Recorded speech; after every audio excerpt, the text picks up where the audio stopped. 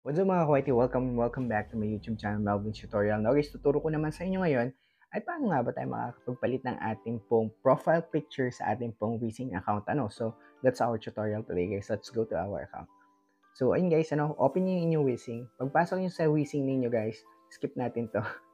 Ay, makikita nyo guys yun yung inyong profile picture. Open niyo yun sa taas. Ayan. Pag open niyo, click niyo guys yung inyong pong profile pictures. Ano?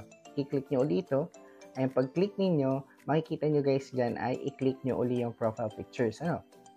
So, pag click niyo ng profile pictures, change avatar or clear portrait is recommended. So, change natin guys, pindutin natin yung change. Ayan, pindutin niyo yung change, makikita nyo guys ay camera, pwede kayo mag-shots from your phone or local gallery or wishing gallery. Dahil wala pa tayong laman sa ating wishing gallery, magkukuha tayo sa ating local gallery. Ano, pag pindot nyo doon, allow wishing to access your photos and media on your device. Yes, of course, allow. Then guys, makikita mo dito yung mga pictures ninyo, ninyo dito, lalabas dito yung mga pictures ninyo at pwede kayong magpalit. So for example guys, itong isang gagamitin ko, makikita nyo dahil pwede nyo siyang i-crop, ano, liitan, lakihan, kung gaano kalaki po yung size na gusto niyo ano.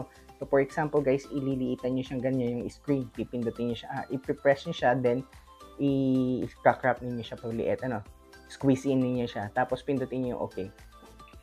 Makikita niyo guys, sa palitan na po yung ating profile pictures, ano, so ayun po, ganun po ang ating pong tutorial ngayon. See you around guys and God bless all. Bye! No, so hindi pa po nakasubscribe, hit the subscribe button and click notification bell all para lagi kayo updated sa ating mga new upload video. See you around guys and I love you all. Bye-bye. Thank you.